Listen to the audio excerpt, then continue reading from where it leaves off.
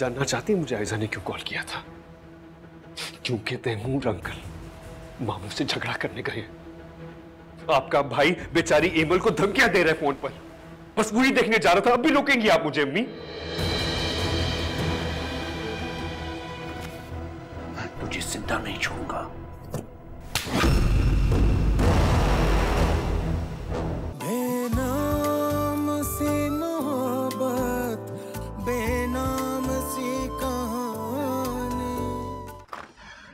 वैसे काफ़ी आर्टिफिशियल किस्म की खातून है तुम्हारी वालदा मोहतरमा और तुम्हारा भाई काफ़ी ज़िद्दी और हट धर्म मैं तुम्हें बता रहा हूँ आयशा कि मैं अपनी बहन को मजीद उस कबाड़ खाने में बर्दाश्त नहीं कर सकता। इसलिए बेहतर है कि तुम अपने भाई और अपनी वालदा मोहतरमा को खुद ही कन्विंस कर तो वह ये सब कुछ खुद भी तो कर सकती है। जब उसको कोई एतराज़ नहीं तो आपको क्या है? है वो। उमर की मोहब्बत में खुद को भुला चुकी है। लेकिन मैं नहीं भूला कि मेरी बहन है वो अरसलान अहमद की बहन। अरसलान प्लीज़ रिलैक्स कुछ दिन इंतज़ार करें तुबा खुद उमर मैं को तुम्हें बता रहा हूँ कि अगर उमर ने अपनी जिद ना छोड़ी तो उसका जिम्मेदार वो खुद होगा। और तुम अपने मैके जाके मेहमान बनने का बहुत शौक है ना तुम्हें? ज़रूरी था मेरी बहन के हाथ के बने कबाब खाने? अरसलान वो कबाब तुबा ने नहीं? ओह सॉरी मैं तो भूल ही गया था कि तुम झूठ बोलने की एक्सपर्ट हो। अब तुम कहोगी कि तुबा झूठ बोल रही थी और वो कबाब जो है तुम्हारी वालदा मोहतरमा ने बनाए थे उसने भी है ना? यू नो व्हाट मुझे किसी बहस में नहीं पड़ना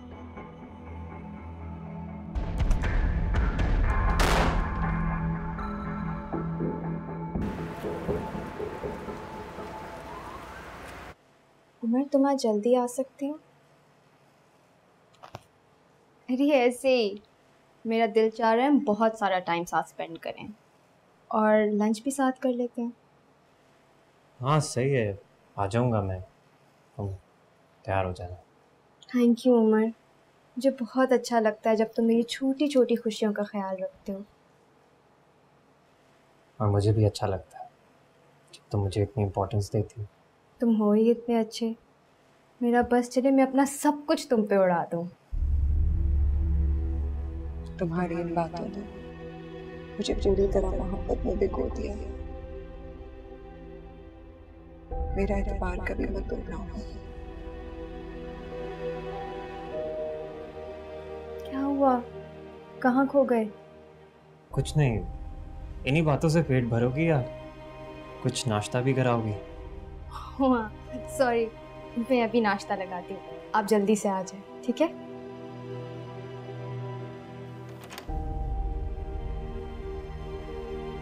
काश तुम मैं तुम्हें वो मोहब्बत दे सकता जिसकी तुम हकदार हो।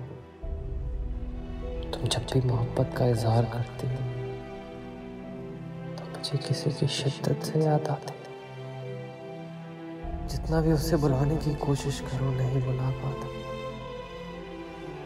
ऐसे जैसे वो हर पल मेरे सामने आ जाती थी। एमल, मैंने सिर्फ़ तुम्हारे साथ ही नहीं, बल्कि अपने साथ भी बहुत बुरा किया है।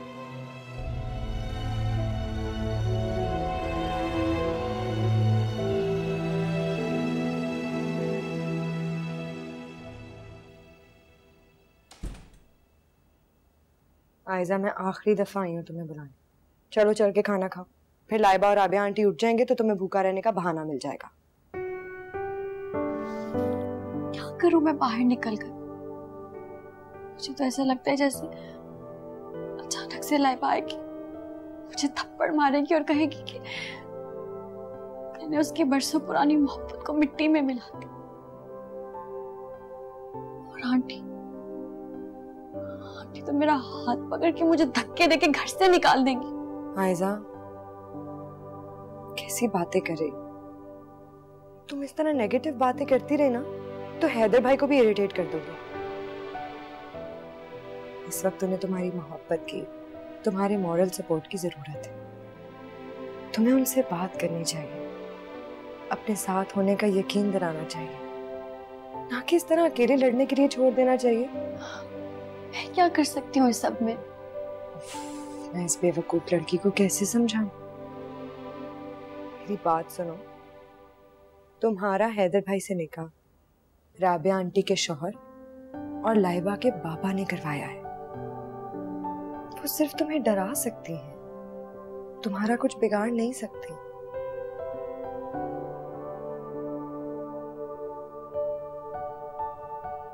पापा ठीक कहते थे। तुम मेरी जुड़वा बहन नहीं बल्कि मेरी बड़ी बहन हो। तो फिर बड़ी बहन की बात मान लो।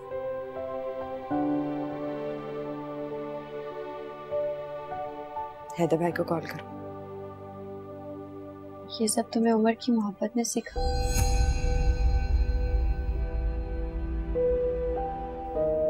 सॉरी मेरा तुम कॉल कर लो मैं बाहर तुम्हारा इंतज़ार करी।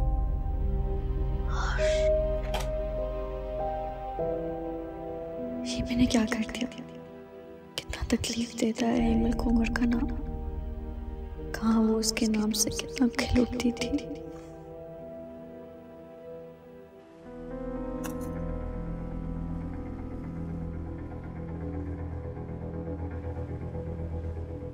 आयशा!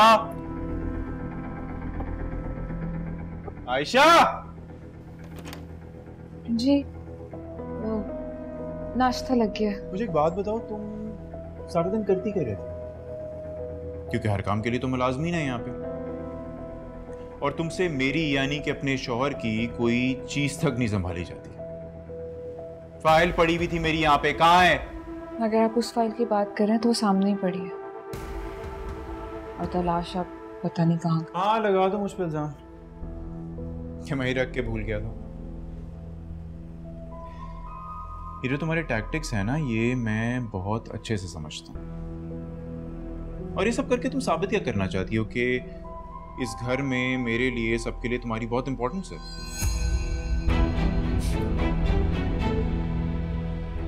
यही फ़र्क होता है खानदानी लोगों में। एक मेरी बेचारी वो बहन है जो कि सारा दिन तुम्हारे उस अक्खड़ मिजाज भाई के नखरे उठाती है। सारा दिन अपने हाथ जलाती है, घरदारी करती है। और एक तुम नाश्ता लगा हुआ वो। नाश्ता? तुमने इस घर का माहौल ऐसा रखा हुआ कि यहाँ पे किसी के हलक सीखने वाला भी नीचे उतरे? ऑफ़िस जाके कर लूँगा मैं।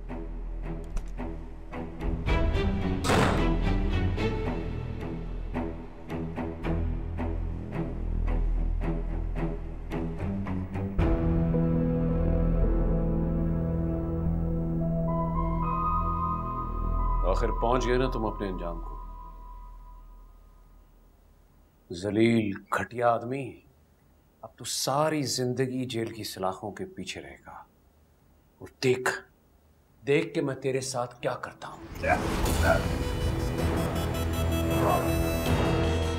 तुम देखना कि मैं तुम्हारे साथ क्या कर सकता हूँ।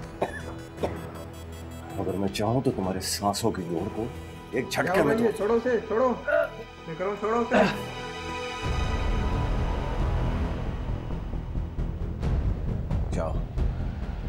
ये आखिरी मेहरबानी मैंने तुम पे कर दी। आज से रिश्तेदारी खत्म और दुश्मनी शुरू। जो दुश्मनी तुमने शुरू की है अगर इसे अंजाम तक मैं पहुंचाऊँगा।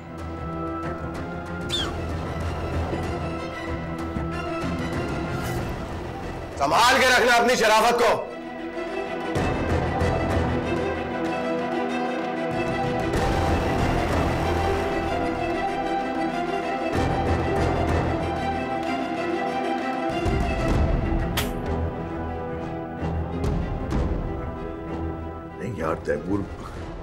मुझे नहीं लगता कि हम उसे मजीद यहाँ रख सकेंगे। बहुत प्रेशर आ रहा है ऊपर से उसे छोड़ने के लिए।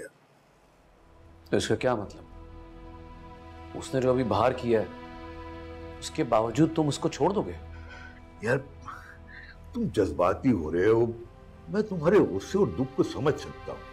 मगर मेरा यकीन करो कि मैं तुम्हारी हर मुमकिन मदद करना चाहता हूँ दिल से। तुम खुलकर उसके खिलाफ एक्शन लो। असल जुर्म और हकीकत की बुनियाद पर पर्चा कटवाओ। फिर तुम देखो मैं उसे और उसके करता धरता हूँ वो क्या करता हूँ? नहीं यार मैं ऐसा नहीं कर सकता। और तुम अच्छी तरह जानते हो मैं अपने घर की इज़्ज़त की बात यूँ सरेआम नहीं कर सकता। सॉरी यार तैमूर इस तरह तो उसे यहाँ रखना तुम्हारे लिए खतरा हो सकता है। और फिर इस बात की क्या गारंटी है? कि जिस जुर्म पे तुम पर्दा डाल रहे हो मुजरिम उसे उछालेगा नहीं। बोलो।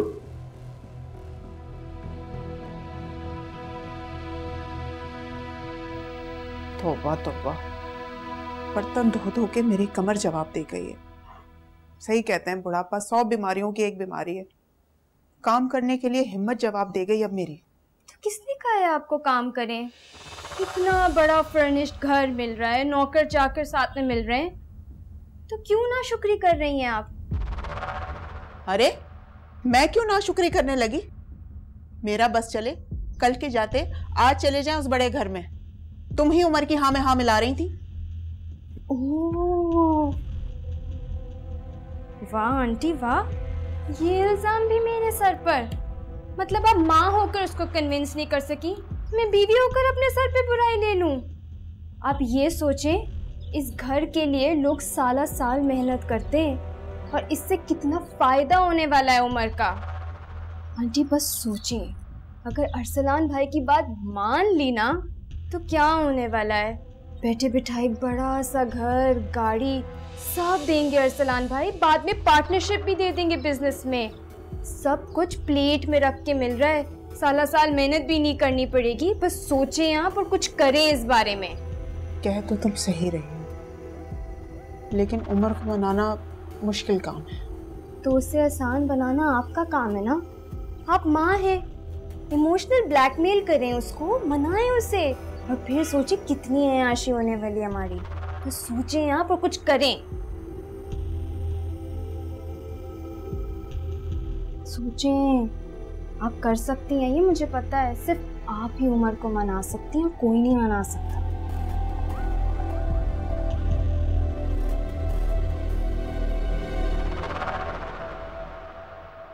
मुझे खाला के घर जाना है।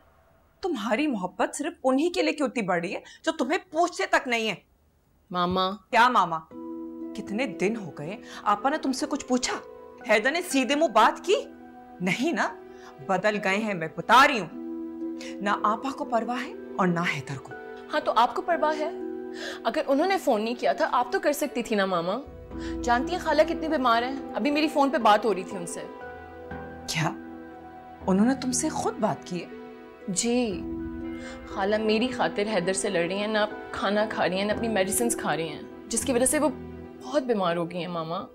या अल्लाह मुझे तो किसी ने कुछ बताया तक नहीं। मैं ज़रूर तुम्हारे साथ चलती लेकिन तैमूर वो आ जाए। एक राबिया हज़ार मुसीबतें। तुम ऐसा करो तुम जाओ और मेरी तरफ़ से भी पूछ लेना उनको ठीक है ना? हाँ ठीक है, मैं अभी बस तैयार होके जा रही हूँ, ठीक है?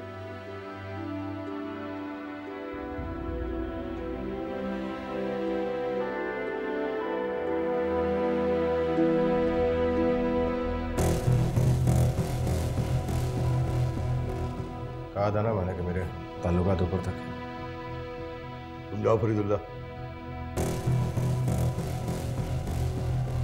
तुमने पुलिस स्टेशन में इकदाम में कत्ल की कोशिश की है। इसकी सजा जानते हो? और थाने में आकर लॉकअप में बंद शख्स को धमकी देने की क्या सजा होती? अच्छा तो अब तुम हमें कानून पढ़ाओगे। ज़्यादा स्मार्ट बनने की कोशिश मत करो। मैं अच्छी तरह जानता हूँ तुम्हारी हेरा फेरी को। जमानत आई है तुम्हारी। और तुम जानते हो ये जमानत क्यों आई? क्योंकि तैमूर ने इस मुआशरे के हर शरीफ आदमी की तरह मुजरिम को सजा दिलवाने के बजाय अपनी इज़्ज़त को तरजीह दी है। ख्याल रखना कहीं तुम उसकी तरजीह को बदल न दो। अगर ऐसा हुआ ना तो तुम्हारे सरपरस्त करता धरता भी तुम्हारी जमानत करवा नहीं सकेंगे। एसपी साहब आप धमकी दे रहे हैं मुझे। नहीं ये तो तुम्हारा काम है।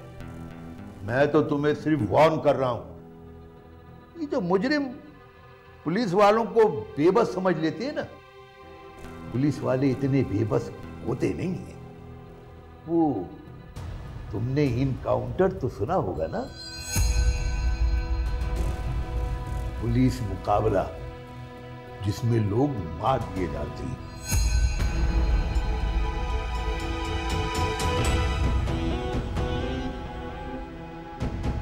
जाओ यहाँ से।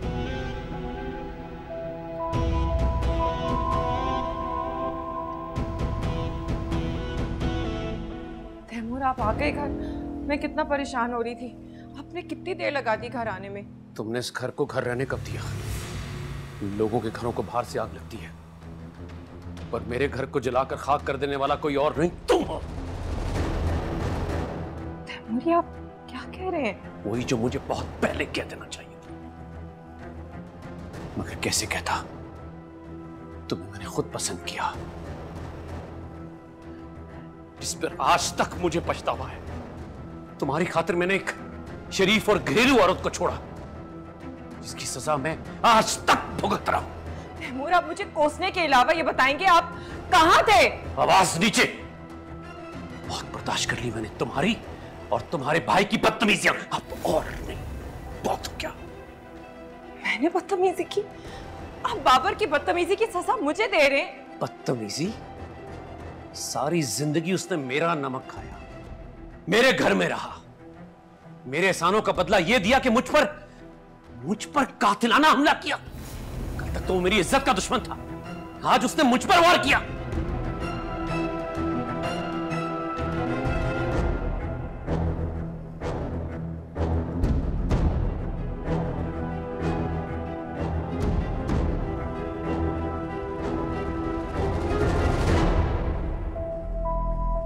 और कितने फसाद खड़े कराओगे तुम दोनों?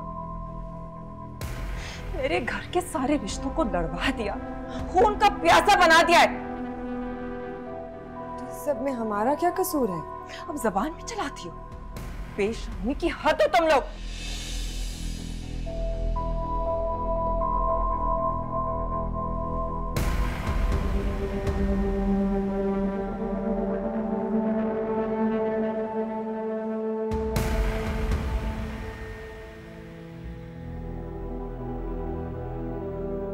तुम क्या टिपिकल फिल्मी दुल्हन की तरह घूंघट निकाल के बैठी हुई हो?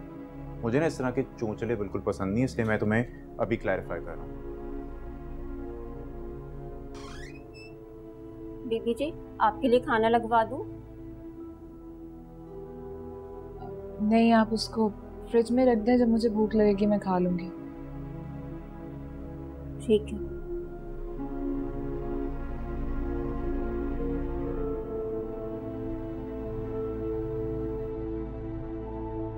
हेमल प्लीज़ इतना गुस्सा क्यों कर रही हो? तुम्हें पता भी आंटी का वैसे भी आंटी परेशान है। अच्छा आंटी परेशान है। और हम? अजीब मनतक है इन लोगों की। खुद जुल्म करते हैं और फिर हमें जालिम बना देते हैं। अपने भाई के गुना नज़र नहीं आते अपनी और अपनी बेटी के कारनामे नज़र नहीं आते इनको। सबर करो। मैं सबर करूँ। तुम अभी भी मुझे सबर करने को कह रही हो आयजा कैसे करूँ मैं सबर आयजा मरने वाले बाप अपनी बेटियों को साथ लेके क्यों नहीं मरते? क्या उन्हें नहीं पता उनके मर जाने के बाद हमें कितने धक्के खाने पड़ेंगे, कितनी जिल्लत सहनी पड़ेगी? आयजा मुझे प्लीज़ बाबा के पास ले चल। जिल्लत और बर्दाश्त नहीं होती। चल के बाबा को बताते हैं। उनकी अनमोल बेटियाँ उनके बगैर बेमोल हो गई। जो लिखा हो किस्मत में वो कभी क्यों मिटता नहीं? गर्दिशों में मेरा सफ़र कांटे से क्यों कटता नहीं? हैदर जिद पर अड़ गया और उसे तैमूर के सिवा कोई और नहीं मिला सका आला क्या कह रही हैं आप ये? नसीम मैं राबिया। हाँ खैर खैरियत छोड़ो। मुझे बताओ तुम्हारे पास लड़कियों के लिए रिश्ते हैं? फ़ौरन। बेनाम सी मोहब्बत बेनाम सी खाला हैदर पहले जैसा बिल्कुल नहीं रहा। मीन वो पूरा चेंज हो गया है। लाइबा तुम जानती हो ना मैं तुमसे बहुत प्यार करती हूँ। बस तुम्हें मेरी बात माननी है। वादा करो वादा करो मुझसे कि मैं जो कहूँगी जैसा कहूँगी तुम वैसा ही करो। हैदर जिद पर अड़ गया और उसे तैमूर के सिवा कोई और नहीं मना सकता। आना क्या कह रही हैं आप ये? लाइबा मैंने तुम्हें यहाँ इसलिए बुलाया है कि मैं तुमसे बात करके तुम्हें समझा सकूँ। खाला आप, जो कहेंगी जैसा कहेंगी मैं करने के लिए तैयार हूँ। लेकिन जानती है ना कि मैं हैदर को अपने आप से दूर नहीं देख सकती। जानती हूँ और मैं भी यही चाहती हूँ। बस तुम्हें सबसे पहले ये करना होगा कि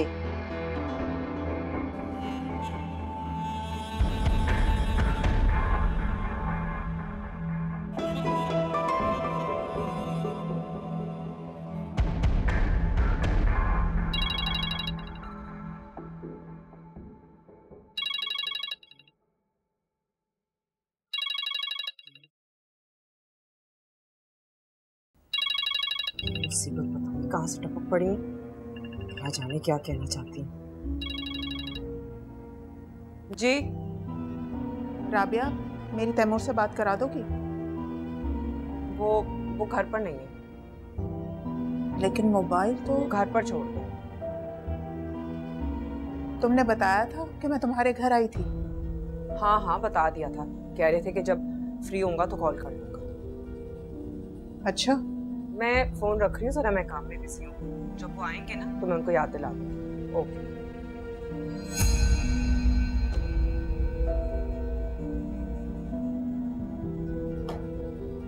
नंबर जरा डिलीट करूँ सी बात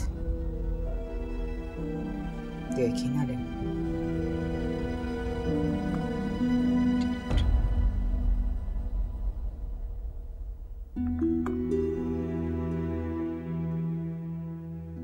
उस दिन अंकल से बात करते हुए देखा। बहुत अपसेट लग रहे थे। प्लीज़ हैदर बताएँ, कैसी बात?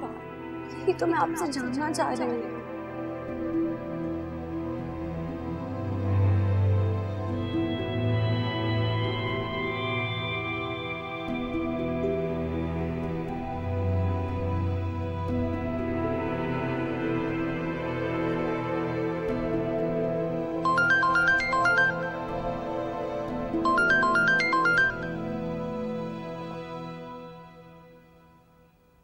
हेलो कैसी हो?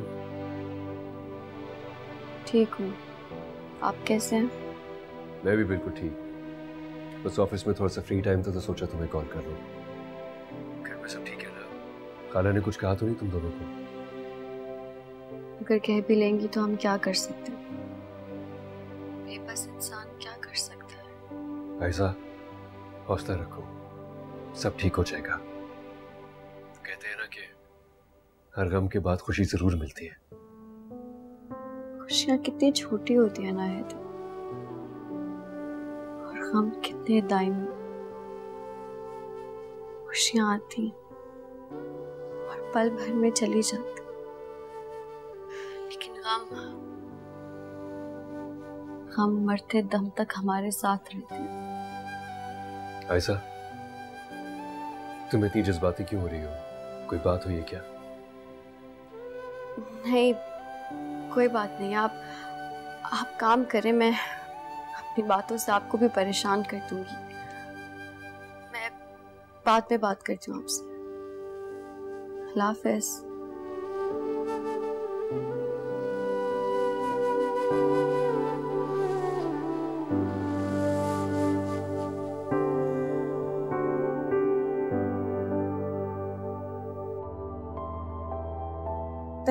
के साथ कभी भी बात इस हद तक नहीं पहुँची ये सब कुछ सिर्फ़ उन लड़कियों की वजह से हो रहा है। कहा दफ़ा करूँ उनको मैं? नसीम। नसीम, रिश्ते वाली। नसीम।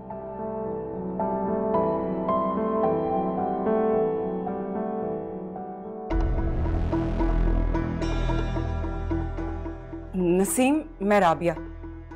हाँ खैर, खैरियत छोड़ो।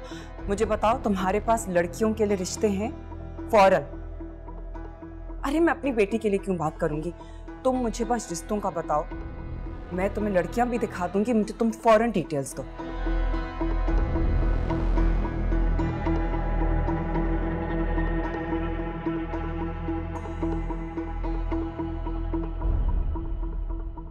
अस्सलाम वालेकुम। वालेकुम अस्सलाम।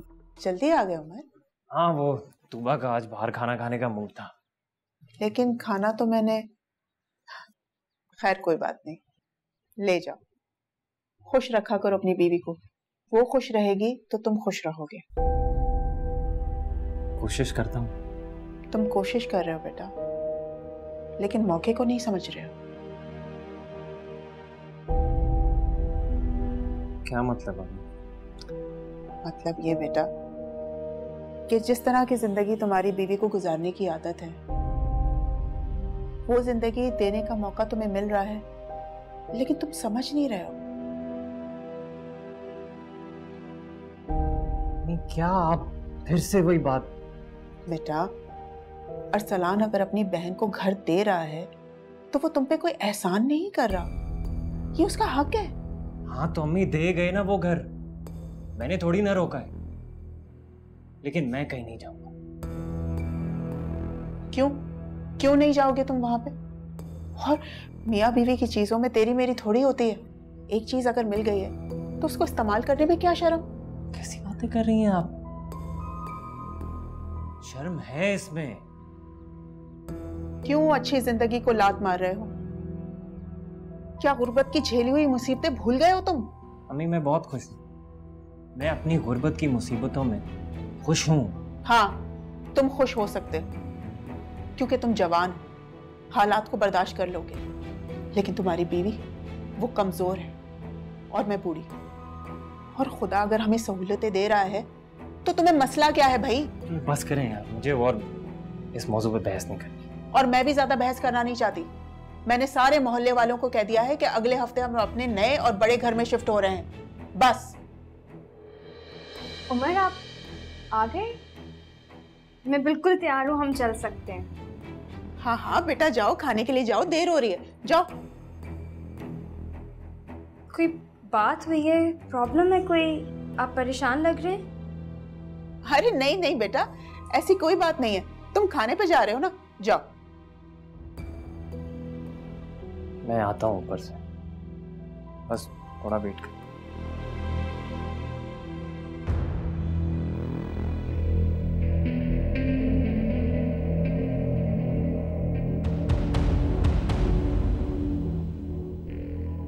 तुम देख रहे हो कि मैं तुम्हारे साथ क्या कर सकता हूँ? अगर मैं चाहूँ तो तुम्हारे सांसों की डोर को एक झटके में तोड़ दूँ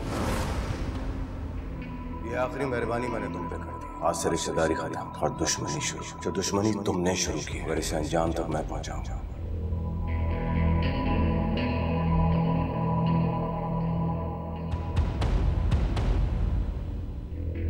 बाबा मुझे आपसे एक बात करनी है। हाँ बोलो मैं सुन रहा हूँ। आप मुझे सच बताइएगा क्या मैं आपकी सगी औलाद नहीं हूँ? क्या हुआ बेटा? ये ये कैसा सवाल है? बताएँ ना मैं आपकी सगी औलाद नहीं हूँ। आप मुझे इतना डिसअपॉइंट क्यों कर रहे हैं बाबा? क्या आपको मुझसे बिल्कुल मोहब्बत नहीं है? मेरी खुशियों की जरा से भी परवाह नहीं है। बाबा मेरा क्या कसूर है? आप ऐसा कैसे कर सकते हैं मेरे साथ? कैसा? ऐसा क्या कर दिया मैंने? बाबा आप जानते हैं ना कि हैदर मेरी खुशी है मेरी ख्वाहिश है। और वो खुशी जो आपने खुद मुझे दी है और अब आप वो खुशी मुझसे छीनना चाहते हैं। अब अब प्लीज़ हैदर से बात करें। आई एम श्योर वो आपकी बात ज़रूर सुनेगा।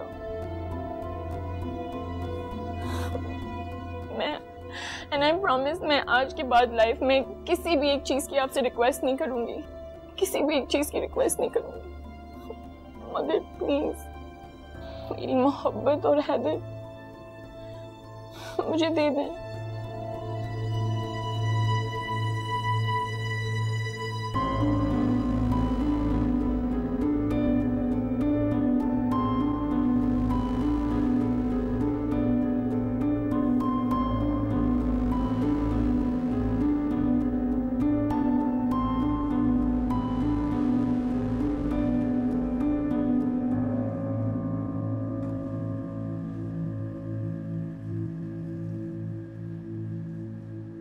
तुम यहाँ बैठे हुए हो, मैं कब से नीचे वेट कर रही हूँ?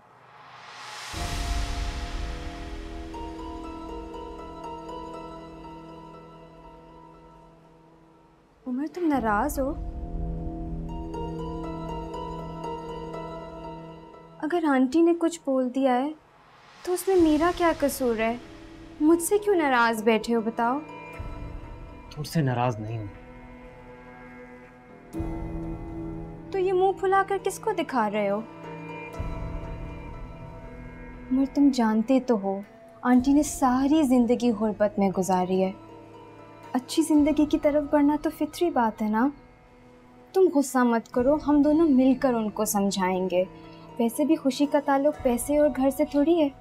अपने इर्द गिर्द लोगों से जुड़े रहने में है। अच्छी ज़िंदगी गुजारने के लिए बड़ा घर चाहिए। और बड़े घर की जाने बढ़ना, फितरी बात ये सब कुछ तुमने क्यों नहीं? तुम भी तो बड़े घर से आई हो। तुम्हारी भी तो यही आदत है। क्योंकि मैं आपसे प्यार करती हूँ। और मुझे इन चीज़ों से फ़र्क नहीं पड़ता। अच्छा चलो, अब बाहर चलते मैं कब से तैयार होके बैठी हुई तुम्हारे इंतज़ार में? अब तुम मूड ख़राब करके बैठे हो। चलो, उठो, बाहर चले और मूड भी अच्छा हो जाएगा। चले चले उठे, आ जाए। उठे उठे।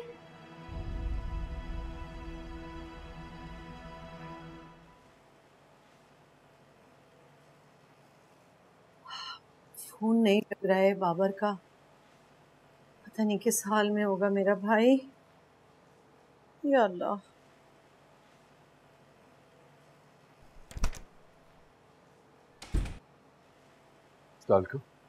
तुम तैमूर के घर से आ रहे हो? नहीं लेकिन ऐसे क्यों पूछ रही हैं आप? सब ठीक तो है वहाँ? वहाँ सब ठीक है या नहीं? ये तो तुम्हें मुझे बताना चाहिए। उल्टा तुम तो मुझसे सवाल कर रहे हो। क्या हो गया अम्मी? बात क्या हुई है? बात? बात सिर्फ़ ये है हैदर कि तुम बड़े हो गए।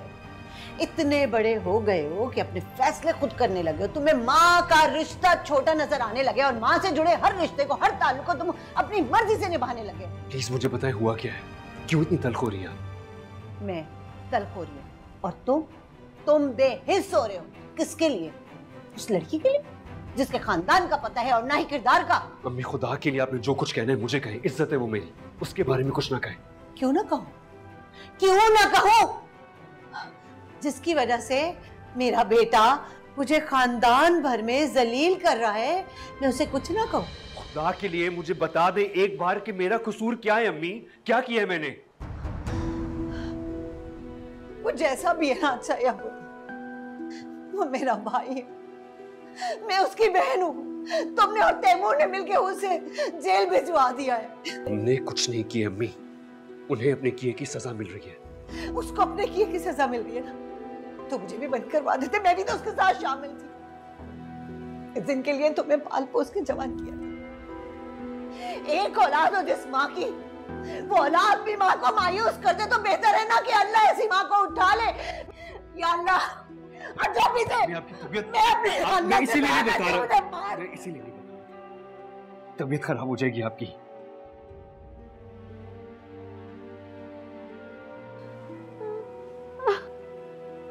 मामू की जमानत हो चुकी है।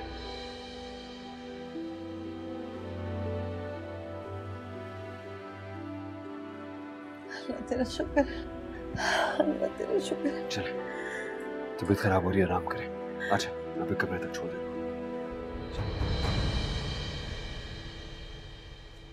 आप यकीन माने जिस टाइम मेरी आपसे फ़ोन पर बात हुई मैंने उसी टाइम लड़के वालों से जाके बात कर ली।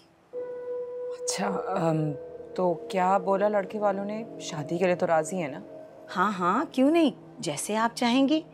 लेकिन लड़के वालों की एक शर्त है। लड़की खूबसूरत होनी चाहिए। अरे उसकी फ़िक्र नहीं करो तुम। लड़कियाँ बहुत खूबसूरत हैं।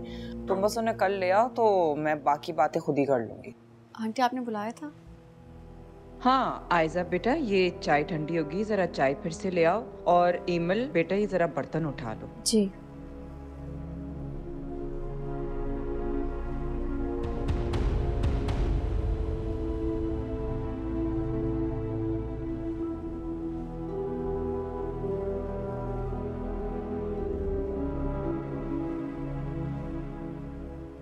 वैसे बच्चियाँ तो बहुत प्यारी हैं। क्या इनके आगे पीछे कोई नहीं है? नसीम तुम्हें सिर्फ़ अपनी दुगनी फ़ीस से मतलब होना चाहिए। हाँ हाँ मुझे अपनी दुगनी फ़ीस से ही मतलब है। अब देखिए ना आपके इन लड़कियों के साथ क्या मामलात है मुझे नहीं मालूम। आप इनकी शादी के लिए इतना इसरार क्यों कर रही हैं? कोई ना कोई तो आपकी मजबूरी होगी ना। मगर क्या दो बच्चों के बाप से आप इनकी शादी करवा सकती हैं। पता नहीं कौन सी नई साजिशी खिचड़ी बन रही है। पता नहीं कौन सा नया तूफ़ान नई मुसीबत है हमारे लिए। आप क्या साजिश करेंगी? इतना कुछ तो क्या उनके साथ। तभी तो तभी तो मैं कह रही हूँ। इतना कुछ हुआ है उसके बाद तुम्हें लगता है वो हमें इतने आराम से बख्श देंगी? हेमल हो सकता है कि उनके कोई जानने वाली उनसे मिलने आई हो। क्यों सोचती रहती हो इस तरह से? मैं चाय लेके नहीं जाऊँगी।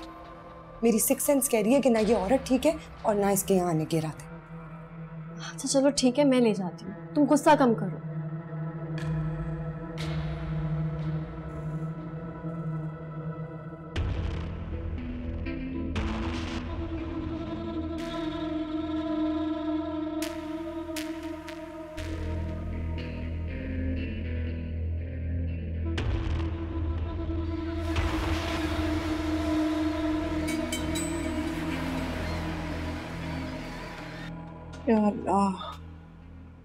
हुआ अम्मी? आपकी तबीयत तो ठीक है?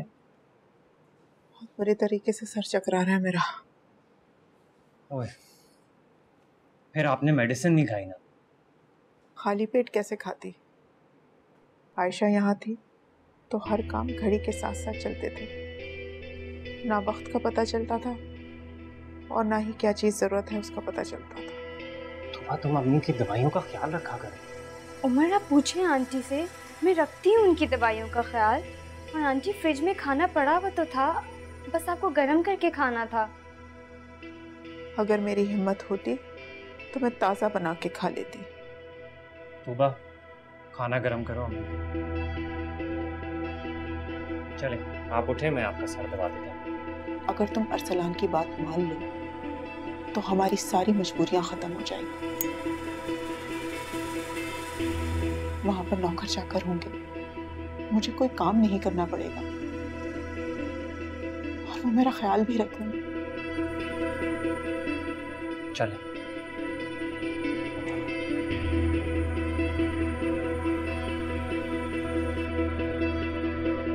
वेरी गुड आंटी इसी तरह कोशिश करती रहें।